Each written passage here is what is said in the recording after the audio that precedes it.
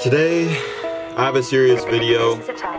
Uh, first off, I hope you guys are having an amazing day, but basically, I wanted to really, like, I don't get it. Why everybody is hating on Pretty Boy Fredo. Lot of you guys agree with him, you know, you say in racism, da da da.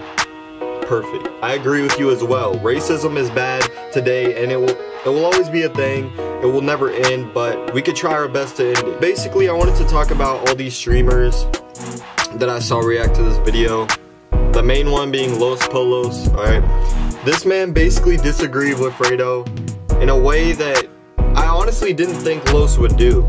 I thought he would agree with Fredo because being a YouTuber, looking at other YouTubers, you know, point of view, you can honestly relate to him in a way that no one else can, but Los disagreed. He basically said that share this video to end racism today he was basically saying that all white people are racist. Los. Where he's saying share this for awareness, bro. He wants more people to see that there are still people like this out there in the world. That doesn't mean that all of us white people are racist. That's not what he meant by that video.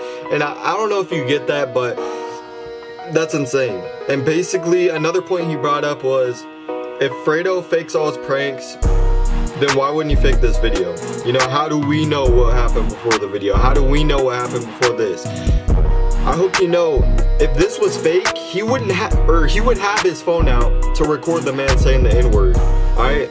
He took his phone out after. How, how is he gonna know this man's gonna start racial slurring it? You know, it doesn't make sense, but he said that because Fredo fakes all this, this is fake. No, Fredo's a real person. Fake pranks are for entertainment. Every big channel starts doing these, and it's a trend that's going on. Obviously, Fredo, it worked for him. Alright, where are you at on YouTube? Los? You haven't uploaded in how long?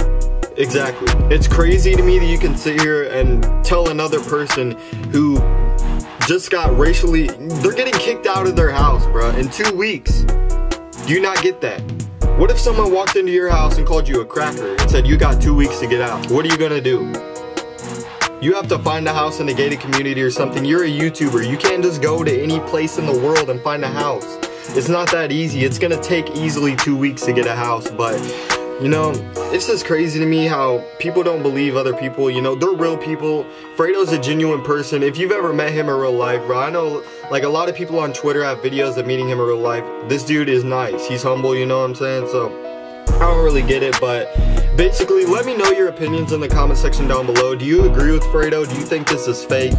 I basically, I want to know what you guys think, bro, but it's been your boy Run It Up 24, aka Run It Reacts, and I'm out, guys. Yeah, dab.